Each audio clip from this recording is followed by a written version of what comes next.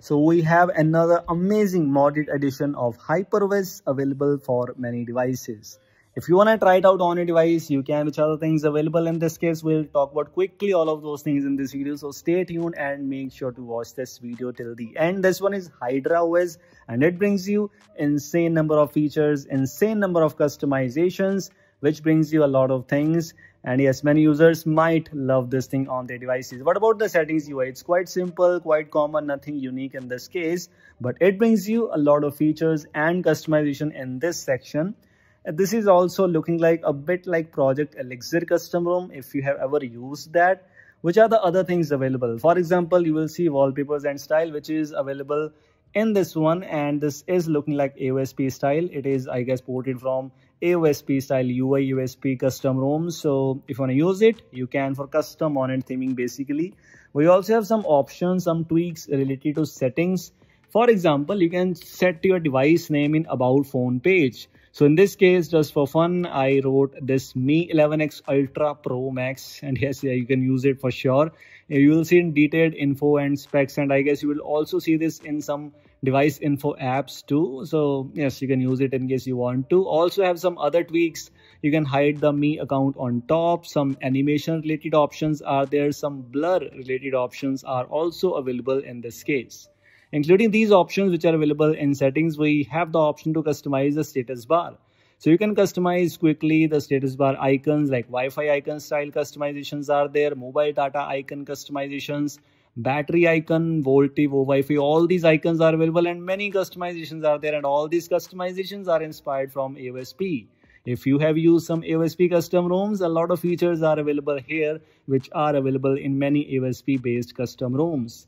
We also have some other options. For example, we have some dialer mods available. So you can customize the background of dialer. You can also customize the call log colors and maximum brightness and some other basic things which you can go and try it out. Also some system tweaks brings you some amazing things. For example, we have play integrity fix, which is actually one of the things which you which matters a lot you just have to click on play integrity fix. It will redirect you to the github page where you can download the latest play integrity fix apk and you do not have to do anything. Just simply download that set it up and done. Play integrity will be fixed for you. Some spoofing options are already there like unlimited google photo storage higher fps in games and so on. And some options related to screenshot custom frame you can even adjust the themes app server. So this is also quite good looking and some disable flag secure and so on. It also brings you some hidden settings which are by default hidden in Xiaomi devices basically.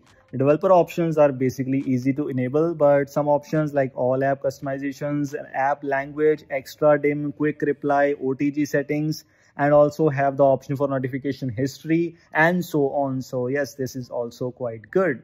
If you move on to some other options, it brings you customizations related to status bar lyrics modifications.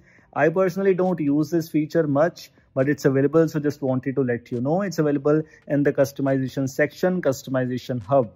If you move on to some notification customization here, it brings you a lot of notification panel styles.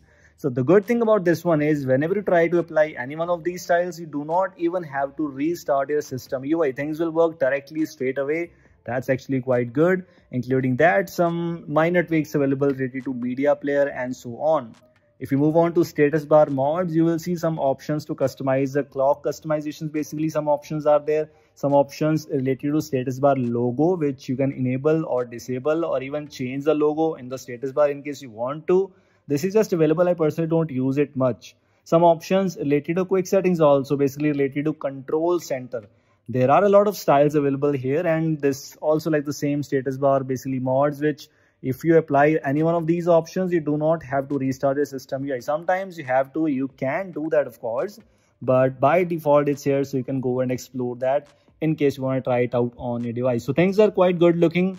The custom ROM reminds me of MIUI Pro edition which is a long time ago. Now it was a long time when I used MIUI Pro. Things were so good so outstanding and that custom ROM is no more available. So we are into HyperOS. It also brings you some. It also brings you some more charging styles, customizations, and many more things. It's available for some of the Xiaomi devices. I'll provide the link in the description for that if you want to know more about it.